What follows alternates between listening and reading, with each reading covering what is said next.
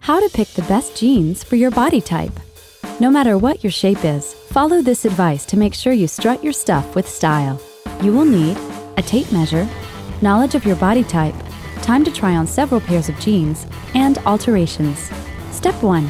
Measure around the largest part of your hips, the smallest part of your waist, and your inseam to approximate your size. Step 2. Define your body type. Knowing this will help you disguise your figure flaws. Some examples are pear-shaped, rectangle, and hourglass. Step 3. Try on many pairs of jeans from several designers with different styles and cuts. Do not trust the size on the tag. One size will vary tremendously from one designer to another. Step 4. Find the cut that best accentuates your positive features and disguises your flaws. For example, if you have a curvy figure, skinny jeans are probably not for you. The cut of jeans is not the same as the style.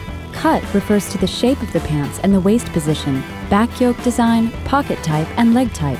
Step 5. Pull the waist of the jeans up and bend down, then stand back up and walk around.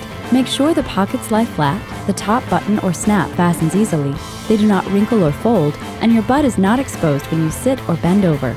If your jeans feel a little tight but are still comfortable, you have found the right pair. Step 6. Alter the length of the jeans to wear with your favorite shoes, and you're ready for a night on the town. Did you know?